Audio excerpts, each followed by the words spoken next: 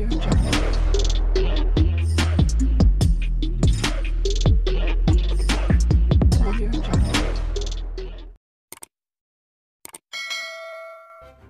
kasih karena memilih channel ini. Sebelum kita mulakan video ini, sila pertimbangkan untuk menekan butang like, share, dan subscribe dan aktifkan butang lonceng Anda agar Anda sentiasa mendapat info-info percuma pada setiap hari dari channel kami. Dan tinggalkan komen Anda karena komen Anda amatlah dihargai. Terima kasih.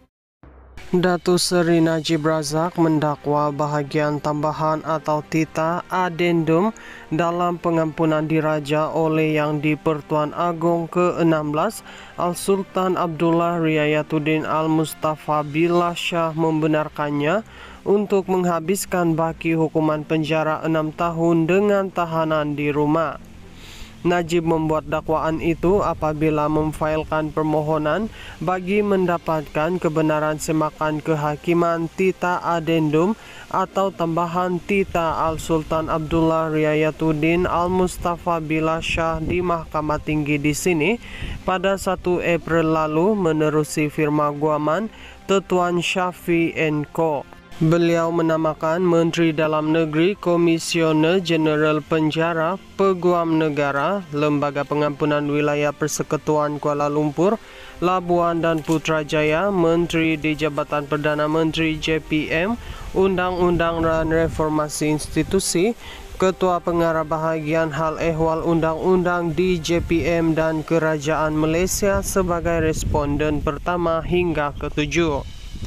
Dalam notis permohonan yang dimuat turun melalui sistem carian mahkamah, Najib memohon perintah untuk semua atau seorang responden melaksanakan tita Al-Sultan Abdullah dan dengan serta-merta memindahkan beliau dari penjara Kajang ke kediamannya.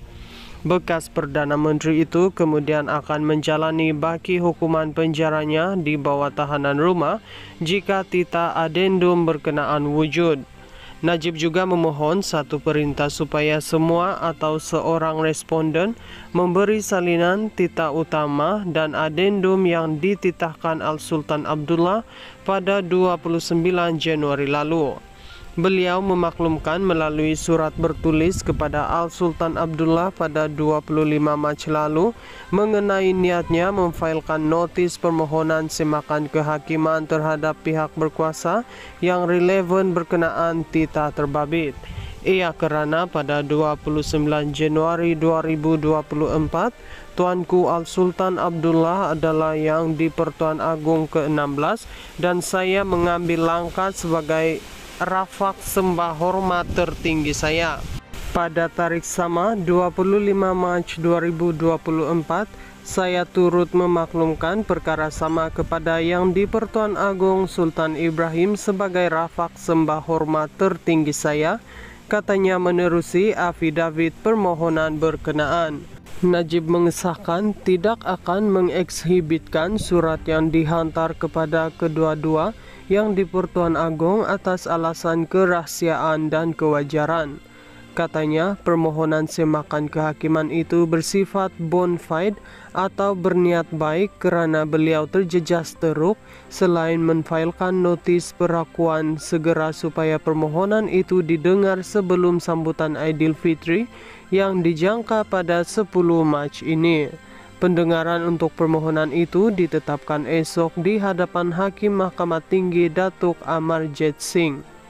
Pada 2 Februari lalu, media melaporkan Najib diberikan pengurangan 50% bagi hukuman penjara 12 tahun yang sedang dijalaninya sejak 2022 sekaligus menyaksikan bekas Perdana Menteri itu bakal dibebaskan pada 23 Ogos 2028.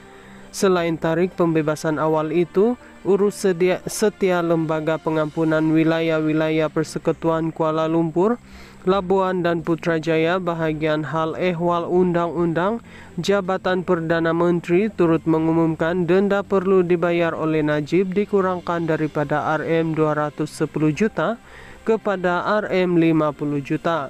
Namun sekiranya denda itu tidak dibayar, Tempo penjara bagi Najib akan ditambah setahun dengan tarik pembebasan beliau dijadwalkan pada 23 Agustus 2029. Pada 28 Julai 2020, Hakim Datuk Muhammad Nazlan Muhammad Ghazali mendapati Najib bersalah atas tujuh pertuduhan pecah amanah, menyalahgunakan kedudukan dan pengubahan uang haram, dana RM 42 juta milik SRC International Sendirian Berhad.